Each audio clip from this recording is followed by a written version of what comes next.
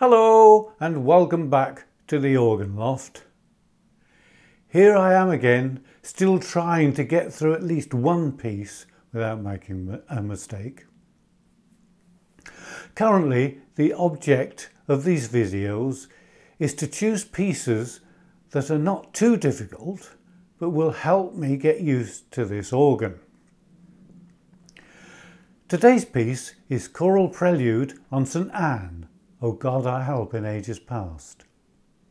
It is in a book entitled Short and Easy Pieces for the Organ by Ernest A. Dicks. So this piece is meant to be easy.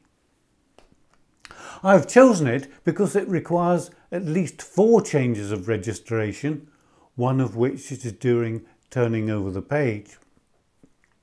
And then the hands change manuals, as well as a more challenging pedal part at the end. There's even the use of the swell pedal at the beginning.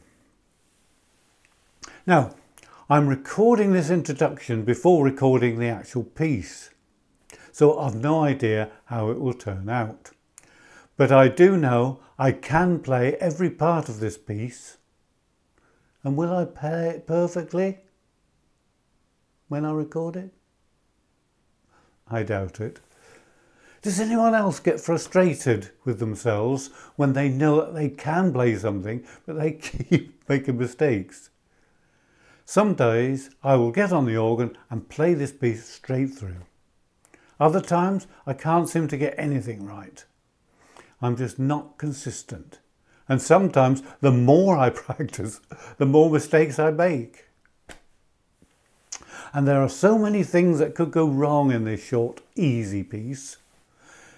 Hesitating when changing registrations, moving hands of the wrong manuals, getting in the muddle with the pedals, looking down and up again and losing my place completely, and even forgetting to open with the swell pedal at the beginning. So all I can say is whatever follows is my best attempt at an easy piece. Here is Chorale Prelude on St Anne by Ernest A. Dicks.